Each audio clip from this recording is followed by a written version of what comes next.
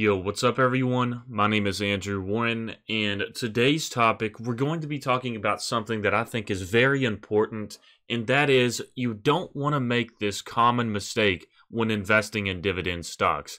And before I begin this video, I just want to say that all of this is personal opinion. This is not to be considered financial advice or anything like that, but I'm simply giving my thoughts and opinions on the topic. And I'm hoping that for you viewers out there, you can interpret these thoughts and form your own opinion based off of my opinion. But this is not financial advice. I simply want to share something with you all that may be helpful. But we're basically going to be talking about the number one mistake that dividend investors commonly make. And I'm not going to act very high and mighty here because it's very easy to make this mistake. I've seen a lot of big investors even make this mistake. And by the way, I interpret this as a mistake. To other people, it may not be, but this is simply what I interpret it as and how I view investing in terms of dividend stocks. So basically what I'm talking about here is a lot of people tend to chase a high dividend yield stock over a better growth stock with maybe less of a dividend. So let me give you guys one good example right here. Let's look at Macy's. As you can see, the dividend yield is extremely high. It's 25.08. So the dividend yield is amazing for this. However, let's check at the past five years and see how well this stock has performed. As you can see, over the past five years, if you exclude the latest dip, which basically every stock is taking, let's look at the peak. This would be considered basically the peak, February 14th. The stock is down 73% in the past five years. And although you're going to get some amazing dividends off of this stock, you have to really think is this worth investing if your actual value, your share value of the stock, is going to go down 74% or $47? If you look at the history of Macy's, you get a 37 cents dividend. At least that was as of 312. And around the range of that 312 date, let's just say it's $17 for a share. So you're getting 37 cents, 38 cents per 17 or $18 share, which is actually really good. But the common thing with many dividend investors is that they'll chase that super high dividend yield, but that core value of their stock, their share price, is declining a lot. So, although that extra 37 cents is nice, you have to take a look at the bigger picture of things and realize that this stock is not even growing. The way I decide on whether I should purchase a dividend stock is mostly based on this criteria, and that is I want the dividend stock to have a growth rate of at least 50% over the past five years, excluding like a recent crash or something like that that we've seen lately. And if it does qualify for that 50% growth rate over the past five years, basically I'm just looking for at least 10% a year, then I'll accept basically any dividend that it does give me just because that dividend is nice, but I'm also getting that core growth that is absolutely necessary, at least with the way I view investing, because it's very easy to get a 10% growth. Let me just show you guys what I'm talking about here. You get almost a guaranteed dividend. Now, I won't say guaranteed, but I think it's very unlikely that, like with the index mirroring ETFs, that they're going to revoke the dividend or suspend the dividend. And with these, you get pretty much an average of 10% a year. And if you exclude the latest drop, which is happening across all stocks right now, it was up 63% at its peak, but we'll just say 10% a year. So that's my logic with things, and you actually get a pretty good dividend for this one. As you can see, the dividend yield is 2.51, and I think I got like a dollar per quarter, which is actually really nice, but I was paying a much higher price for the dividend. Let me check. I think it, December was when I started buying a lot of these. So I paid like $280, $290 some dollars in December. But right here is one of the main reasons why I have this criteria because it's very, very easy to get that 10% gain every year, plus a pretty nice dividend yield as well. So when I'm looking at other stocks such as Macy's and I'm seeing that it's just decreasing in share price and I can't even get a positive percentage over the past five years, and although that dividend yield is nice, it's really just not worth my time and not worth my money if I can't count on this stock long term. So the common mistake that people do is chase after high dividend yield while letting their core share value decrease over time and willing to let that happen just because of the short term gains that you'll get from a decent dividend for owning that stock. And another thing to note is, guys, a lot of these stocks with the really high dividend yields are taking big drops lately with the recent crash and recession or whatever you want to call it. And many of these companies that already haven't been performing well over the past five years are actually suspending their dividends. Macy's has already suspended their dividends. So the whole reason that you bought this stock for, that dividend yield, is now gone, and now you're left with a vastly underperforming stock with no dividend yield whatsoever. Now let's go ahead and check out Ford. Ford has a pretty high dividend yield, 13.86. Now let's look at the past five years of performance. Once again, we're seeing a consistency in it not performing well. If you look at its peak recently, it was still down 39%, and I think a lot of people that bought this stock were just chasing a dividend.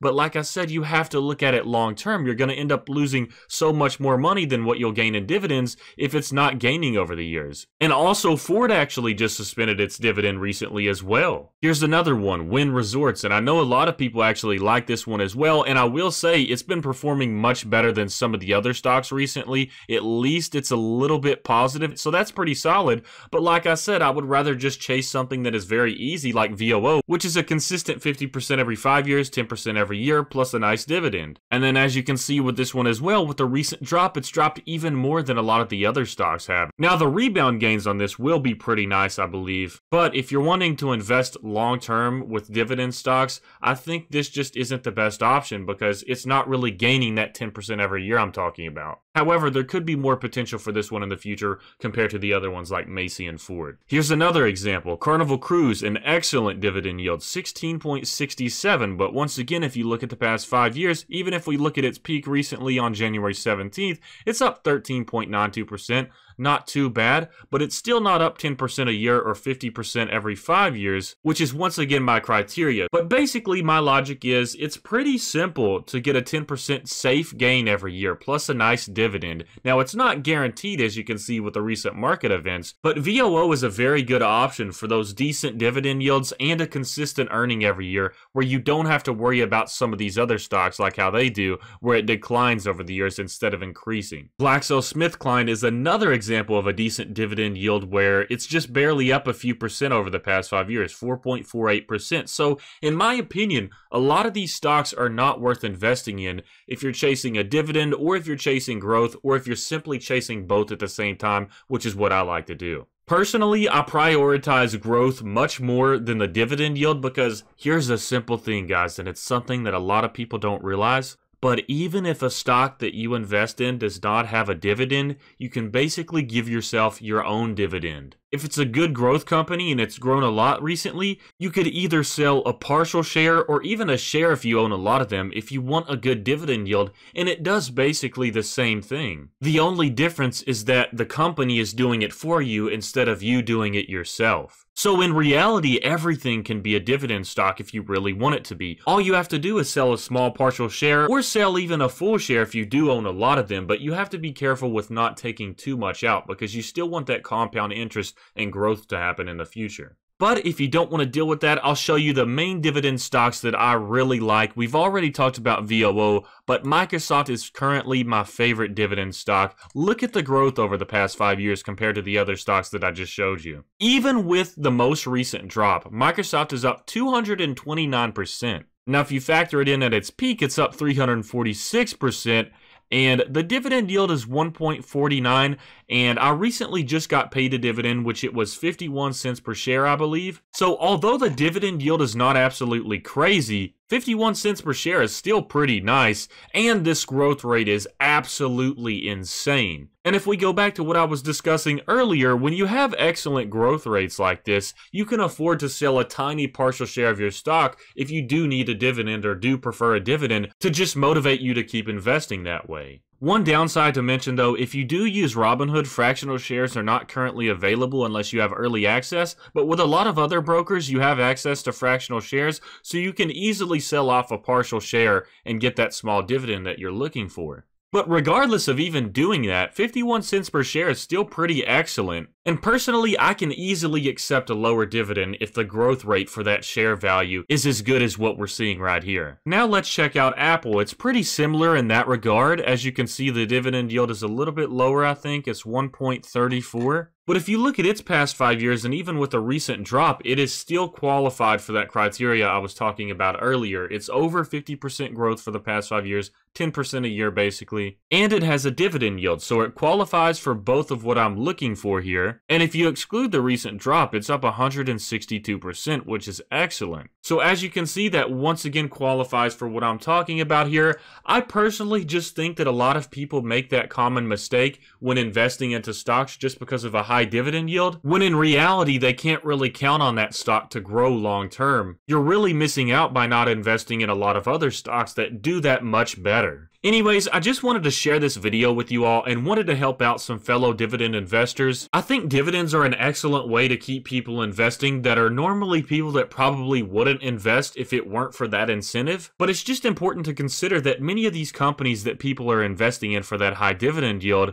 Although they are chasing good dividends, that share price is likely to not improve over time, compared to something that is very simple to get what you're looking for like VOO if you want it to be super easy. In addition to this, a lot of companies will cut their dividends in situations like this with a recent crash, like Ford, Macy's, and a lot of others. So if you think about it, the main reason that people commonly invest in dividend stocks is so that they get rewarded in a time of a crash or a time that's discouraging in the market, and they'll get those dividends and still be happy and stay in the investment. So if you really think about it, that means those shares aren't really worth investing in in the first place if they're going to cut those dividends in hard times. So that's why it's so important to invest in stocks that are very consistent with their dividend history and growth. This is one of the main reasons I invest in VOO, Microsoft, Apple, and then Tesla is just a nice little disruptor stock that I'm really interested to see what happens with it in the future. But anyways, I just wanted to share this with you all and hopefully help you out as I know it's very easy to fall into the trap of chasing that extra dividend yield. And by the way, if you're just a beginner and checking out stocks and doing research right now and plan to begin investing or dividend investing in the future, I personally believe that now is such an excellent time to start because you're starting at a dip whereas a lot of other people don't have this opportunity.